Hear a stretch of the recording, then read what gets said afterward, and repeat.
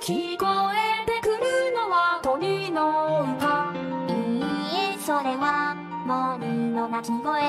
輝いているのは月の光。いいえそれは燃える炎。よかつてが三度呼んだ人。暖炉の中で灰へと変わり後に